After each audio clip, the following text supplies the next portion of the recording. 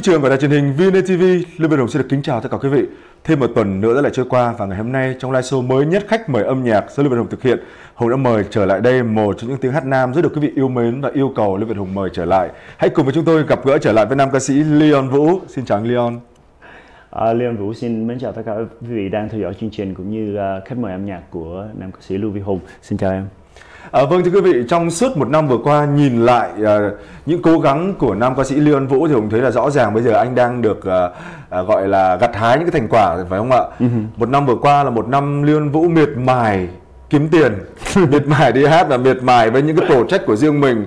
Uh, trong chuyến vừa rồi Hùng có đi tham dự uh, cái live show của được ca sĩ Thanh Thảo kỷ niệm 25 năm ca hát thì Hùng uh, Hùng thấy anh Leon Vũ là người ra hát uh, gọi là khai màn cho chương trình và Hùng thấy rõ ràng là hiện tại bây giờ nhìn lại một chặng đường của anh Lê Vũ Hùng thấy anh Lê Vũ giờ lại hát gọi là hát lên quá nhiều đúng không ạ?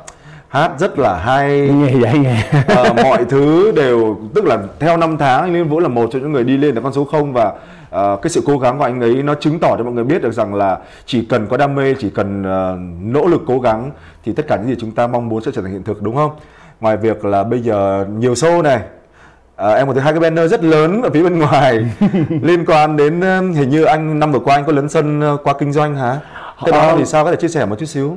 À, à, cảm ơn Lưu Việt Hùng cũng như cảm ơn vị đã thương mến cũng ừ. như uh, theo dõi uh, Leon thì um, em thấy hai cái banner mà lớn thật lớn ở live show của Thanh Thảo ừ. là không phải anh uh, về kinh doanh cái may mắn là giống như anh em mình thì làm vì làm làm gì làm mình cũng phải mình cố gắng cho để cho khán giả hay là nhiều người chú ý đến mình ừ. thì cái may mắn của anh đây là giống như uh, anh được một uh, vợ của một vị bác sĩ người Đại Hàn ừ.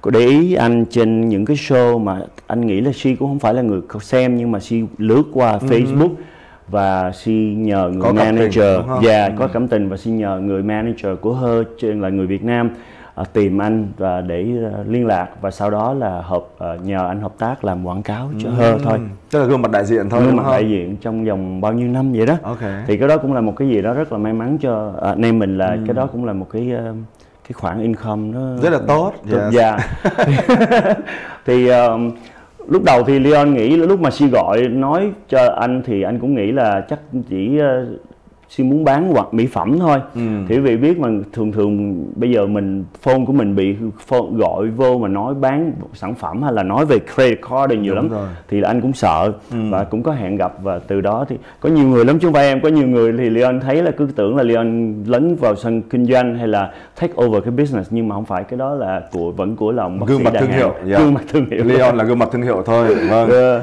Nhưng mà dù sao thì vâng thưa quý vị uh, đó là một trong cái niềm vui chúng tôi muốn chia sẻ bởi vì cái việc mà được quảng bá hình ảnh của mình trên một cái thương hiệu nào đó mà chất lượng uy tín thì uh, tất cả ai cũng được cảm thấy rất là vui đúng không? Ừ. Nhưng mà một năm vừa qua rõ ràng là Hùng thấy là Nam ca sĩ Lương Vũ là một trong những người rất chăm chỉ Hùng thấy là thưa quý vị ngoài việc đi hát cuối tuần thì uh, một ngày anh có ba bốn job. Hùng thấy là vừa vừa vừa quản lý cái salon của mình rồi vừa phải làm những công việc riêng vừa tư vấn giúp đỡ bạn bè các kiểu. Đã bao giờ anh cảm thấy mình cần thêm thời gian cho một ngày 24 tiếng không? Bởi vì em thấy là với hình như 24 tiếng không đủ với anh không phải? Um, thật ra thì um, cái tánh của anh là có nhiều người nghĩ là anh bị cái bệnh mà ôm đồm hả? Dạ, yeah, bệnh bị cái bệnh rối đó, ừ. không có ngồi được một chỗ cái thứ nhất cái thứ nhì là Leon nghĩ là mình cứ cố gắng mình làm trong khi ừ. bây giờ mình còn có thời gian có thể làm được đúng rồi tại vì đến khi mà quý vị biết là đến một cái tuổi nào đó thì tự nhiên mình muốn làm nó cũng bị làm biến đi ừ. nó bị trùng lại ừ. thì uh, cái đó là cái gì những cái gì mà Leon uh, đang uh, thích và để ý đến cái thứ nhì là như hùng biết là cái cái cái cái sự nghiệp ca hát của Leon bắt đầu nó rất là ngang uh-huh. thì uh, giống như thường thường hùng nói là bắt đầu từ một cái zero trở đi cho đến bây giờ thì uh, theo như anh á thì cái cái đam mê là một và cái sự cố gắng là hai và uh-huh. trong những hai cái tiêu chiếu um, mà Leon thấy là mình cũng phải nên làm uh-huh. và làm cho thật thật thật thật là tốt trong khi mình có thể vậy uh-huh. thôi nhìn lại một năm vừa qua thì anh thấy điều gì khiến anh vui nhất um,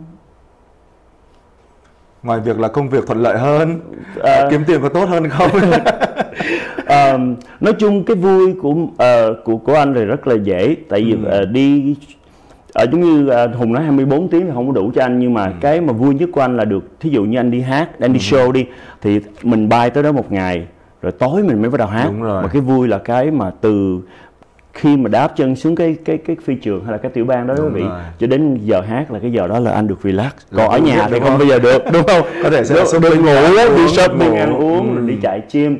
Thì cái đó là cái vui nhất. Do đó um, ở chỗ làm của Leon á chỗ ừ. làm của anh cũng nói là trong vòng trong 3 năm 4 năm nay không thấy mày take vacation. Ừ. thì Leon anh mới nói là thường thường thường thứ thứ bảy chủ nhật hay là chủ nhật thứ hai là cái ừ. đó là vacation là vacation đúng vacation rồi do đó mình cũng không có đó là quãng thời gian mà enjoy nhất enjoy đúng đúng, đúng không? Tại vì mình tới thứ nhất mình tới hotel quá sớm ừ. rồi không làm gì thì mình làm gì? Mình một là mình ngủ cho đã hai là mình đi vòng vòng để ừ. tham quan cảnh trí rồi. Đến 8 9 giờ tối mình mới bắt đầu đi hát ừ. là cái đó là cái relax nhất của anh. Thưa quý vị bận rộn vậy đấy nhưng mà CD thì vẫn đẻ đều cái gì là CD thì vẫn đẻ đều một năm sòn sòn một ít nhất là một đứa. Một đứa. Còn không ờ, năm nào mà chăm đẻ thì cũng ạt lên hai ba đứa nhưng mà như là nghe đồn là năm nay có một đứa phải không ạ? Đầu năm bây giờ là có một đứa phải không ạ? Chưa. Chuẩn bị. Chuẩn bị thôi. Tức là hùng mới ờ, được coi một cái tấm hình rất là đẹp là cái đó là cái project chuẩn bị chuẩn anh bị. sẽ đưa ra đúng không? Ừ. nói với chút xíu về đứa con mà mình ờ, chuẩn bị cho chào đời này thật ra thì uh, quý vị biết là như em biết là lúc này cái uh, tình hình mà về CD ừ. uh, ca mà uh, ca nhạc của mình thì nó hơi bị trùng bởi vì YouTube cái media trên YouTube nó bị quảng bá quá lớn. Đúng rồi. thì đa số anh chị em nghệ sĩ họ thu văn thu âm và làm đa số thì làm MV nhiều hơn là làm CD ừ. Thì do đó cái cái CD của Leon nó cũng bị trùng lại à, cho đến thời buổi này à, hôm nay giống như trong tháng này Leon mới bắt đầu uh, phát hành hay là uh-huh. cho ra là vì cũng vì cái sự mà YouTube nó quá uh, mạnh mẽ trên uh, trên trên cộng đồng bây giờ uh-huh. thì um, không phải là mình nghĩ là có nhiều người hỏi Leon trời ơi bây giờ CD làm đâu phải dễ đâu em thấy không uh-huh. mà tại sao mình cứ làm chi nhưng mà cái đó uh, mình làm là để chi để khi mà mình đi show mình đi hát mình được ra ngoài cái cái cái cái cái cái, cái uh, phía trước của uh, sòng bài hay là sân khấu uh-huh. để gần gũi với khán giả hơn tại vì nếu mà mình không có CD mình không có những món hàng giới thiệu đến quý vị khán giả thì mình ra phía đó trước mình đứng để làm gì Đúng mình rồi. hát xong rồi mình xách vali mình đi lên lầu thôi thì đây là những cái sản phẩm mà Leon nghĩ là cho mình cái cơ hội đứng gần uh-huh khán giả nhiều khi mình bán được vài cái thì tốt bán được cũng không sao thì từ từ nó cũng à, vâng thưa quý vị ờ, đêm trao kỷ niệm ừ, cái CD là đêm trao kỷ niệm vậy là chắc chắn trong cuốn CD này sẽ là rất nhiều những bài hát liên quan đến màu kỷ niệm đúng không? Đúng rồi. Có khoảng bao nhiêu bài hát trong cuốn CD này anh? À, 10 bài và đa số là nói về một cái uh, một là cái kỷ niệm của một người nhạc sĩ viết những bài hát đó ừ. hai là kỷ niệm mà anh có qua có lồng ghép có lồng những kỷ niệm của mình yeah, trong đó yeah. nó có cái gì đó nó nao nao trọng yeah. ok yeah. À, vâng thưa quý vị vậy thì khi nào mà đêm trao kỷ niệm mà chính thức được trình làng thì uh, lúc đó hùng sẽ mời anh leon trở lại thêm một lần nữa để uh, giới thiệu quý vị cặn kẽ hơn về đêm trao kỷ niệm còn bây giờ hãy cùng đến với món quà âm nhạc đầu tiên mà nam ca sĩ leon vũ gửi tới quý vị một music video được trích từ dvd của trung tâm minh tránh thưa quý vị một trong những ca khúc rất hay người tình không đến hãy cùng thưởng thức, quý vị nhé.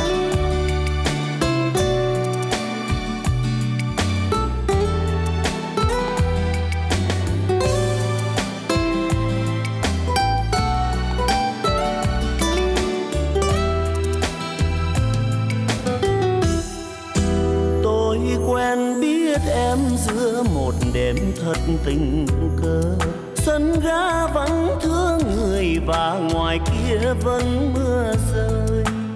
tình chưa thành lời. Vì còn ai tình gian dối, rồi ta đã quen nhau và cho nhau phút hẹn hò. Còi tàu vang lên sẽ màn đêm thật hài hùng. Bên nhau phút giây này sợ ngày mai cách xa nhau. Sợ câu tạ từ và sợ đường tình hai lối, thì tôi chỉ xin em nếu yêu mình nên thật lòng. Chuyện yêu thương thương thương nhớ lạ thường. Đường tôi về đêm nay, gió khuya lạnh buốt qua tim.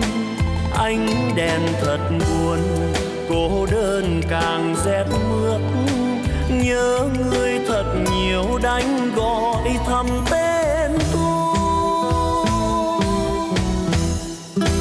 Tôi theo lối xưa đến tận nơi mình hẹn hò.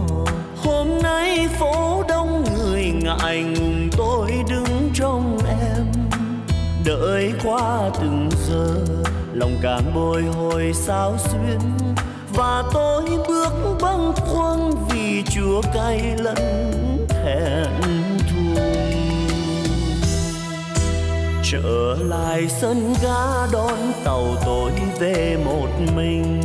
Bao nhiêu ước mơ đầu chìm vào con nước trôi màu. Tình yêu là mộng, thành bọt béo vào mây khói. Tàu đêm mang người tình vào thiên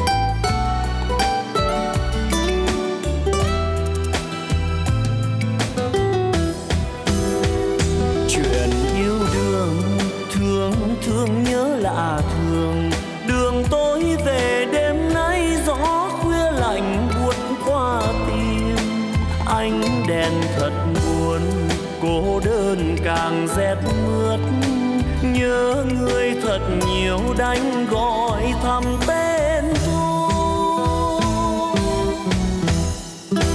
Tôi theo lối xưa đến tận nơi mình hẹn hò.